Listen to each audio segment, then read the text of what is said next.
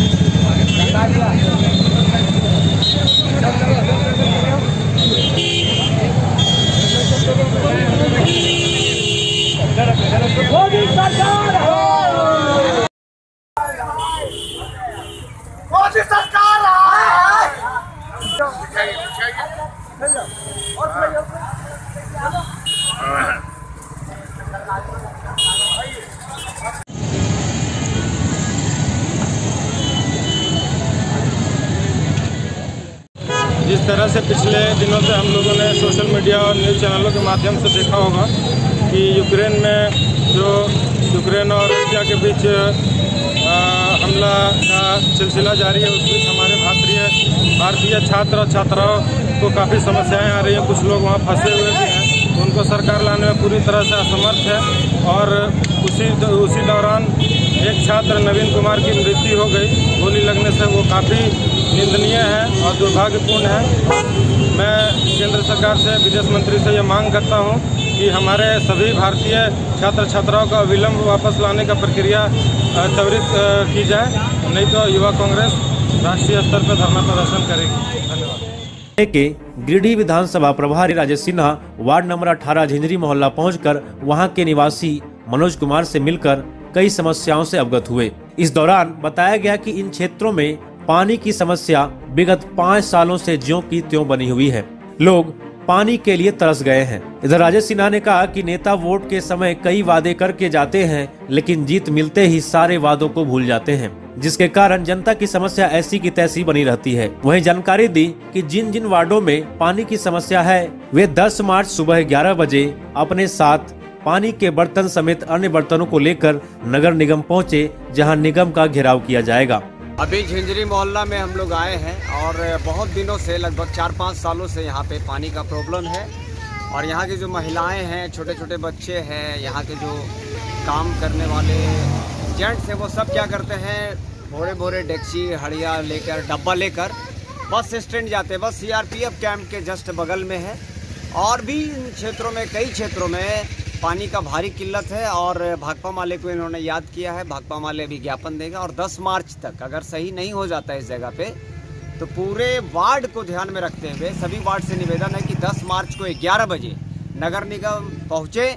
जहाँ जहाँ पानी का किल्लत है हड़िया डेगची लेके पहुँचे इससे क्या होगा नगर निगम को थोड़ा सा लगेगा कि आ, लोग आक्रोशित है लोग आंदोलित आंदोलन करने को बाध्य है। और सभी वार्ड कमिश्नर से मेरा निवेदन है कि आपके क्षेत्र में जहाँ पानी का प्रॉब्लम है, जहाँ नाली का प्रॉब्लम है, जहाँ गंदगी का प्रॉब्लम है, जनता आपसे बात नहीं कर पा रही है, कोई दिक्कत नहीं। आप हैं, आपसे निवेदन है कि आप ज़ोर शोर से थोड़ा सा लग कर गर्मी स्टार्ट होने वाला है। और पानी का तुरंत और तुरंत उस पर ध्यान दें। और नहीं तो माले है, भाकपा माले है, हर जगह का उजागर करेगा एक एक वार्ड में जाके उजागर करेगी कि आखिर हो क्या रहा है। नगर निगम के जितने भी पदाधिकारी हैं और जो पानी सप्लाई से जितने भी रिलेटेड हैं जो भी इंजीनियर हैं उनको हम कहना चाहते हैं कि सिर्फ़ और सिर्फ़ जो कार्य वही मत करिए जहाँ पे कुछ आता है बल्कि उस जगह पे भी काम करिए जहाँ पे जनता का डायरेक्ट सेवा होगा। बहुत बहुत धन्यवाद हम देते हैं। बहुत दिक्कत है यहाँ हिंदी मोहल्ला में। बस उनसे पानी लान के यहाँ पीते हैं। हाँ पानी आने के बहुत दिक्कत है यहाँ पर पानी चलबे ना करता कभी नहीं एकदम। रेस्टोरेंट से पानी कितना ढोएँगे ढोते ढोते हालत खराब हो जाता है आदमी की। हम लोग यहाँ से दो साल से पानी नहीं चल रहा हम लोग स्टैंड से पानी आन के पीते हैं। हम लोग दो साल से पानी नहीं चल रहा है भैया यहाँ जिंजरी मोहल्ला में। हम लोग तो स्टैंड से पानी ला के पीते हैं। बुधवार को कई लोग नगर निगम कार्यालय पहुंचकर निगम के अर्बन प्लानर मंजूर आलम को एक आवेदन सौंपा। वहीं आवेदन लेने के बाद अर्बन प्लानर ने कहा कि जल्द इस कार्य पर ध्यान दिया जाएगा। झिंझरी मोहल्ला में कुछ वाटर सप्लाई का प्रॉब्लम है झिंझरी मोहल्ला मेन रोड में। तो इसको लेकर के भाकपा माले के राजेश सिन्हा जी के माध्यम से एक आवेदन अभी प्राप्त हुआ है।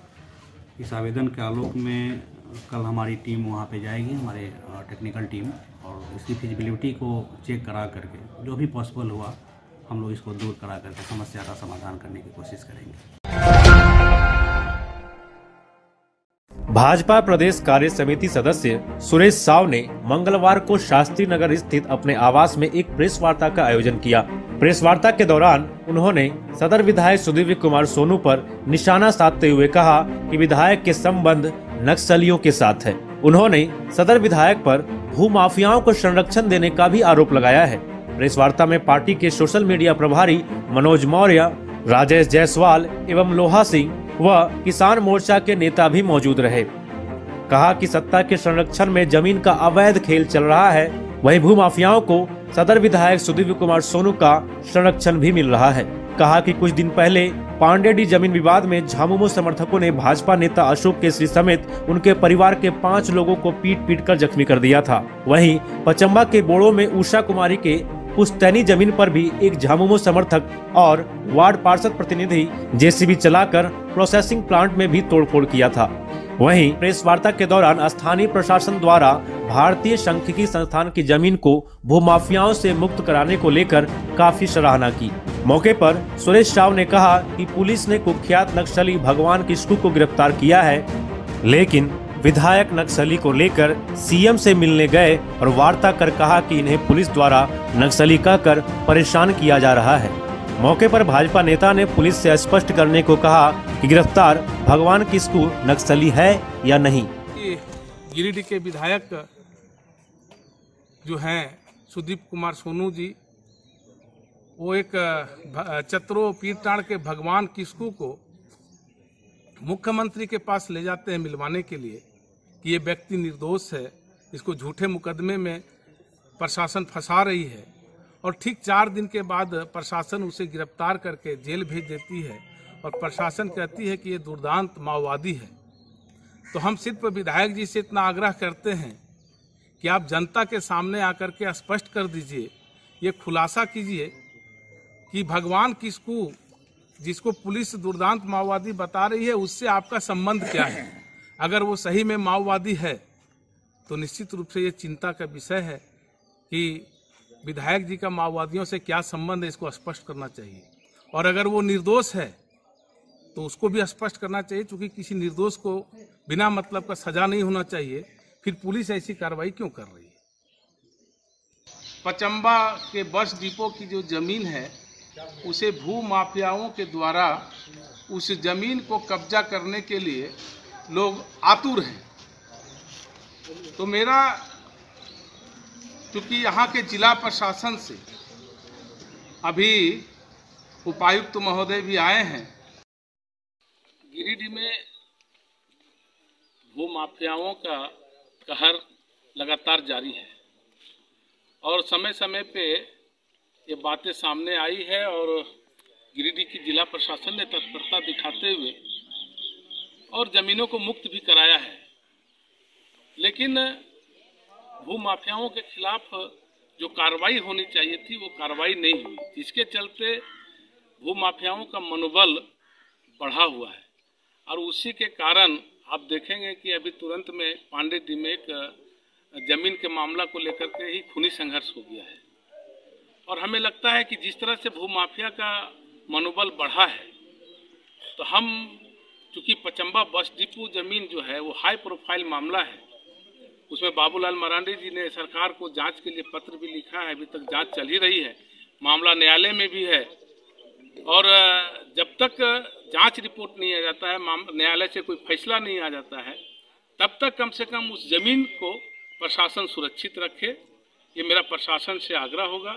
और अगर किसी तरह का कोई भू माफिया किसी तरह का ज़मीन कब्जा करने को लेकर के कोई काम करती है तो निश्चित रूप से उस पर कठोर कार्रवाई होनी चाहिए। क्योंकि भू माफियाओं का जो मनोबल दिखता है, वो निश्चित रूप से हमें लगता है कि कहीं ना कहीं से सत्ता का संरक्षण लगता है, उसे प्राप्त है।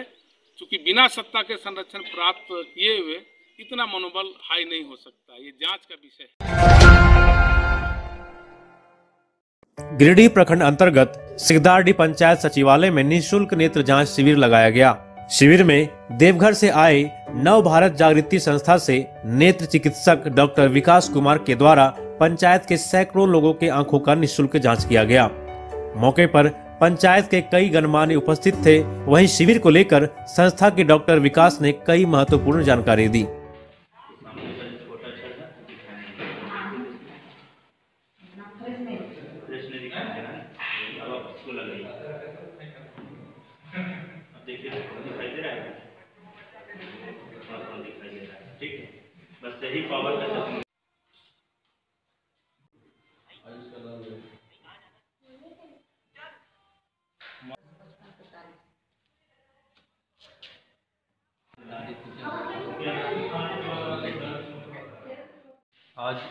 गिरिडीह ब्लॉक अंतर्गत सिद्धार्थी पंचायत में निःशुल्क नेत्र जाँच शिविर का आयोजन किया गया है। इस पंचायत के लोग लगभग 40 से 45 लोग अभी तक आँख जाँच अपना निःशुल्क करवा चुके हैं। कुछ लोगों की चश्मा की आवश्यकता पड़ा है नज़दीक में कुछ लोगों को ड्रॉप की आवश्यकता पड़ा है। उन लोग को प्रिस्क्राइब कर दिया गया है। अभी तक चार से पाँच लोग मोतियाबिंद भी चिन्हित कर कर दिया गया है। बाकी अभी लोगों का इलाज चल रहा है। धन्यवाद। सर मोतियाबिंद जो चिन्हित किए हैं सर इसके लिए इलाज कहाँ कराना पड़ेगा? मोतियाबिंद जिनका भी पाया जाएगा उनका केवल आधार कार्ड का फ़ोटो को भी डॉक्यूमेंट के रूप में लगेगा। इन लोग को देवघर में हमारा हॉस्पिटल है बिमला रामकृष्ण बजाज आँख अस्पताल। वहाँ पर निःशुल्क ऑपरेशन किया जाएगा। किसी भी तरह कोई प्रकार का शुल्क नहीं लिया जाएगा। वहाँ पर रहना खाना पीना लेंस ऑपरेशन दवा जाँच सब फ्री है। सर आपके पर्चे सर मेरा जी। मेरा नाम विकास कुमार हुआ। हम संस्था के एक कार्यकर्ता हैं और उसी के थ्रू यहाँ पर कैंप लगा हमारी संस्था का नाम है नव भारत जागृति केंद्र। महाशिवरात्रि के दूसरे दिन गिरिडीह के जामबाद स्थित बाबा दुखरन नाथ मंदिर में विभिन्न राज्यों से जलाभिषेक हेतु हज़ारों की संख्या में श्रद्धालु पहुँचे। मौके पर मंदिर से सटे उसी नदी में श्रद्धालु स्नान एवं कलश में जल भरकर महाकाल के जयकारे के साथ कतारबद्ध होकर शिवलिंग पर जलाभिषेक किया। इधर, मंदिर समिति के द्वारा मंदिर प्रांगण में भव्य मेले का भी आयोजन किया गया था। मौके पर श्रद्धालु पूजा अर्चना कर मेले का जमकर लुत्फ उठाया। मेले में आकर्षक झूले, तारामाची समेत तरह तरह की मिठाइयों व महिलाओं के श्रृंगार हेतु कई स्टॉल भी लगाए गए थे। वहीं भीड़ को देखते हुए सुरक्षा व्यवस्था भी चाक चौबंद थी। मौके पर आईआरबी व पिकेट पुलिस के जवान सुरक्षा में तैनात थे।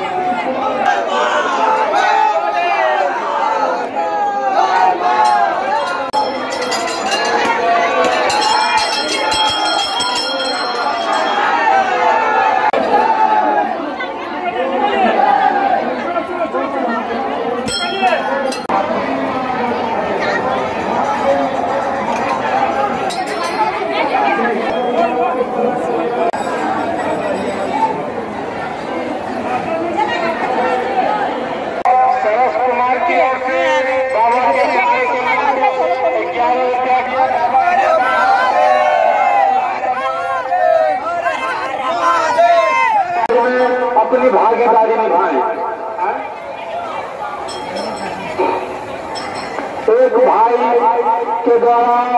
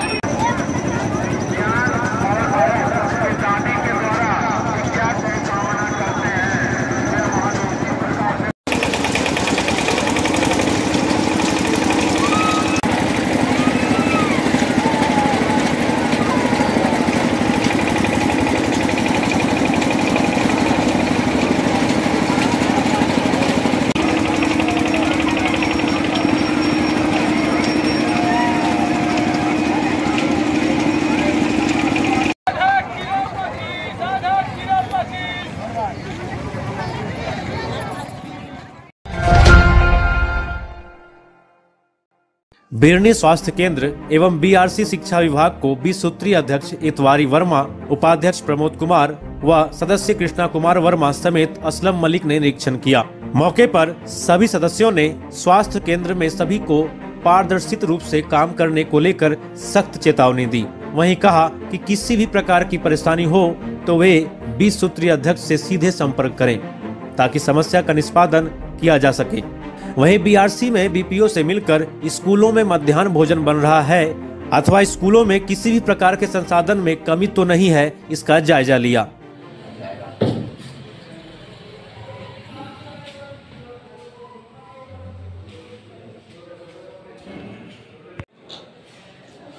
सदैव भाई वो कह रहे हैं कि कैसे क्या होगा? विश्व सूत्रीय अध्यक्ष इतवारी वर्मा।